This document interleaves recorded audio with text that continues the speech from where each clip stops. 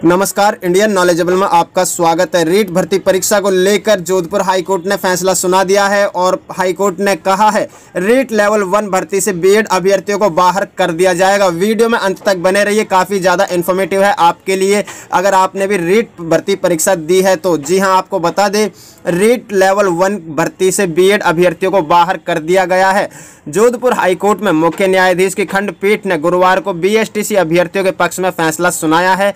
High court ने rate level one भर्ती के लिए केवल बी अभ्यर्थियों को ही योग्य माना और बीएड अभ्यर्थियों के रिज़ल्ट को निरस्त करने का आदेश दिए हैं। ऐसा कोर्ट ने एनसीटी की, की नोटिफिकेशन को रद्द कर दिया जिसमें बीएड वालों को इस भर्ती के लिए योग्य करार दिया गया था। इससे पहले बुधवार को जोधपुर हाईकोर्ट में मामले की सुनवाई पूरी हो गई थी। हाईकोर्ट ने सुनवाई पूरी होने के बाद अदालत ने फैसला सुरक्षित रख लिया था। आपको बता दें, सोमवार, मंगलवार और बुधवार तीनों दिन सभी पक्षों ने तर्कों के साथ अपना पक्ष रखा। बुधवार को बीएड अभ्यर्थियों की ओर से मामले में पक्ष रखा गया।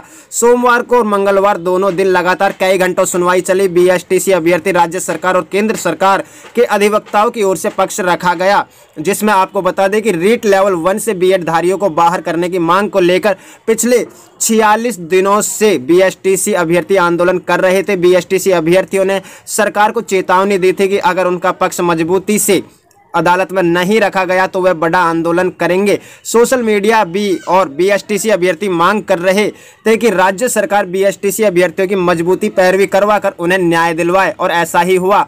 आपको बता दें, इससे पहले राज्य सरकार ने हलफनामा दायर करके कहा था कि लेवल वन के पदों के मुकाबले पर्याप्त संख्या में बीएसटीसी अभ्यर्थी मौजूद है। एनसीटीई का नोटिफिकेशन राज्य में लागू नहीं होता है। शिक्षा विभाग की ओर से जारी रेट नोटिफिकेशन में लेवल वन में केवल बीएसटीसी वालों को ही पात्र माना गया था। लेकिन बीएड डिग्रीधारियों के हाईकोर्ट का दरवाज़ा खटखटाने के बाद हाईकोर्ट ने बीएड वालों को दोनों को में शामिल करने के आदेश दिए। दूसरे और बीएसटीसी अभ्यर्थियों ने भी हाईकोर्ट में एनसीटीई के नोटिफिकेशन को चुनौती दी थी।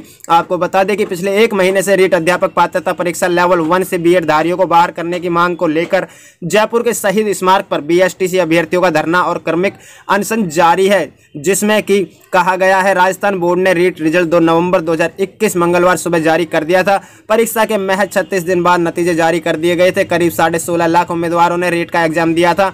उम्मीदवारों को रीट से राजस्थान में इकतीस हज़ार शिक्षकों की भर्ती होगी। ऐसा उन्होंने उन्हें आश्वासन दिया था। सरकार ने रीट धारियों को जितनों ने भी रीट का एग्ज़ाम दिया था। वीडियो अच्छा लगा हो इन्फॉर्मेटिव लगा तो इसे लाइक कीजिए, ज़्यादा से ज़्यादा शेयर कीजिए और कमेंट करके बताइए कि आप रेट लेवल वन से थे या रेट लेवल टू से थे।